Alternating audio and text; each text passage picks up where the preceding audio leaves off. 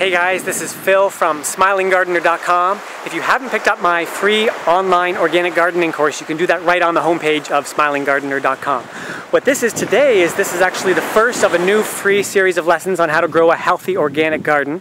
Obviously, I'm not in my garden right now. I'm actually in the south of Peru, uh, hanging out on the beach here. I'm in Peru for another month or so. Um, once I get back in my garden, I'll maybe reshoot this video and I'll certainly be shooting more videos in this series of lessons.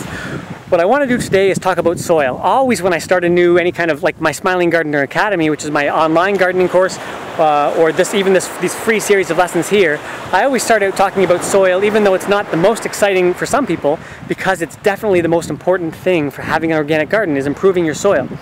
What I'm talking about today in this first lesson, I'm not going to say it all in the video, but is how soil forms and what soil is made of.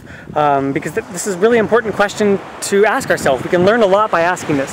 So if we look at this soil here, if I try to roll this into a, into a ball and then into a cylinder, I can't do it. It just falls apart. And that's because it's sand. Obviously I'm on a beach, it's sand. But um, you can do this in your soil and you can kind of figure out how much sand you have, how much clay you have, because clay sticks together more.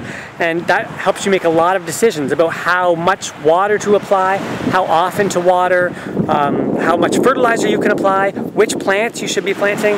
Really helps to know your soil texture is what we call that. That's your sand, silt, and clay. And then when we know our texture, we can help figure out our structure, which is how our soil stays together, how it aggregates helps us um, answer a lot of these gardening questions. Uh, so I'll talk more about it in the written part of the post. I'm not going to get into it today because I can't really show you anything, but that is all for now.